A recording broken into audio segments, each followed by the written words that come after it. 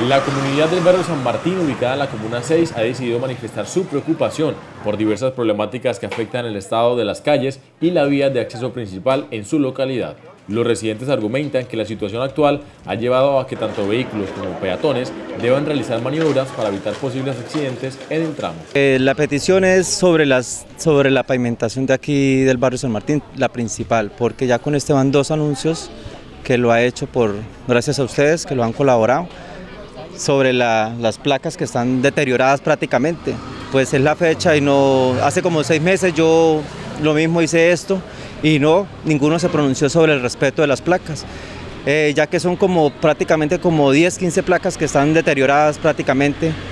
Entonces nosotros como habitantes de acá del barrio San Martín necesitamos que los colaboren con esas placas que están deterioradas. Además la comunidad señala que se está llevando a cabo la instalación de una tubería de gas natural en el área. Sin embargo, han surgido diferencias en los lineamientos y requisitos para dicha instalación, lo que ha provocado que el proceso se realice de manera intermitente en las casas, generando retrasos y dificultades, tanto en términos de tiempo como de espacio. Igualmente aquí no, o sea, por aquí no, la gente está pasando por, por el bordillo, se tienen que montar prácticamente al bordillo o más allá del bordillo porque los carros se la quieren llevar y las motos.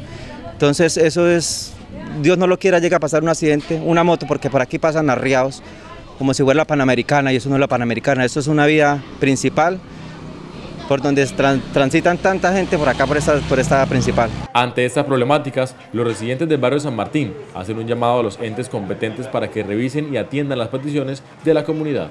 Ya vamos a cumplir 16 años y no tenemos gas que son las casas nuevas, sí, hay muchas casitas que, que bueno, estamos a orilla de carretera, y ahorita aquí, digámoslo, hace cuatro años antes de la pandemia, eh, bueno, se hizo con la junta que estaba primero, eh, se solicitó la vaina del gas, casi como 180 casas.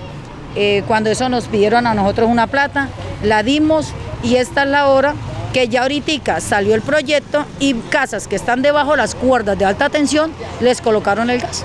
Y nosotros que estamos esperando desde el 2007, ¿sí? Entonces nos toca esperar para la segunda cochada. Incluso la manguera del gas y del agua pasa por la mitad de la casa mía. La comunidad busca soluciones que permitan mejorar la infraestructura vial, la seguridad y el desarrollo adecuado de la zona.